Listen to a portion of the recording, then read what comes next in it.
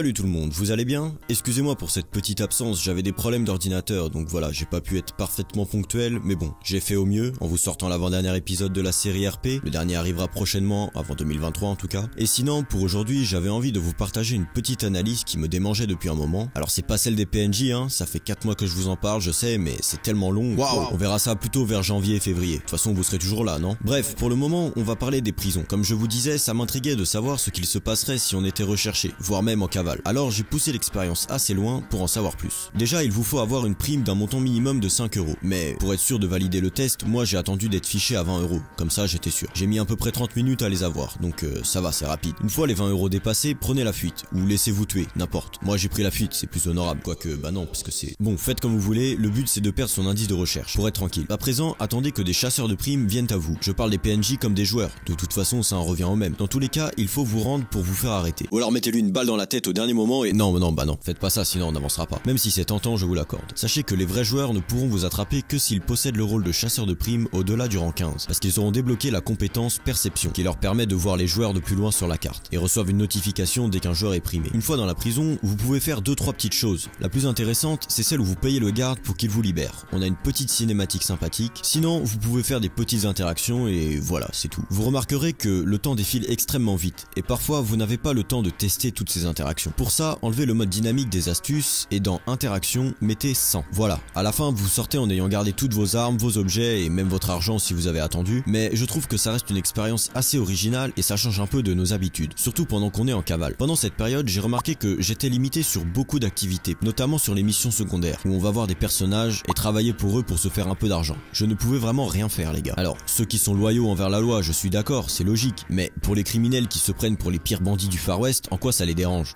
A un total manque de logique de la part de Rockstar, même si euh, ça vous étonne parce que moi non, euh, franchement. Mais une fois de plus, le roleplay est perturbé à cause de ce détail et ne nous permet pas de survivre alors qu'on est recherché. Je vous laisse écouter leurs excuses pour que vous vous rendiez mieux compte les gars.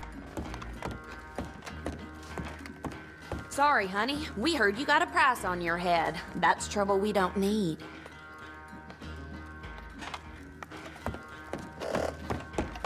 Pour finir, puisqu'on est dans les prisons, j'ai essayé d'aller à Sisica dans le pénitencier. Mais comme pour le bateau casino ou le Mexique, on coule quelques mètres avant d'y accéder. Donc voilà, c'était vraiment une petite analyse les gars, mais je reviens très vite avec de nouvelles vidéos, ne vous inquiétez pas. En tout cas, si vous avez aimé celle-ci, likez-la, commentez, abonnez-vous. Et nous, on se retrouve pour de prochaines vidéos, donc salut